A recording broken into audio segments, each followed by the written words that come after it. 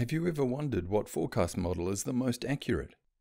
With PredictWind's validation tool, you have the ability to see which model is currently doing the best job for your forecast location. The validation tool compares each model's predictions relative to a real-time wind observation near your forecast location. Please note, we only have comparisons in the 1 kilometre resolution forecast areas. We can view the validation data in two formats, tables or graphs. In this tutorial, we will cover tables.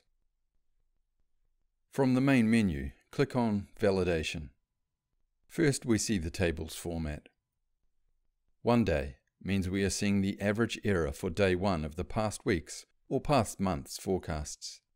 We have the wind speed table and the wind direction table for each period. In this example, we can see the Spire and PredictWind models have been doing the best job at predicting the wind speed and direction for day one of the last week's forecasts. Further down the page on the map, we can see the observation location that the comparison data is sourced from. When we click on 7 day, we get the average error for all 7 days of the forecasts. Again, we have the average error for the past week's or past month's forecasts, for each of the seven days in the tables. It is interesting to see the change in the model's performance as the days from forecast run increase.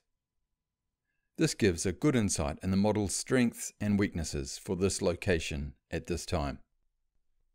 In this example, we can see that ECMWF performs well, especially in days 4 to 7, compared to some of the other models. The data in the validation tables is updated each day.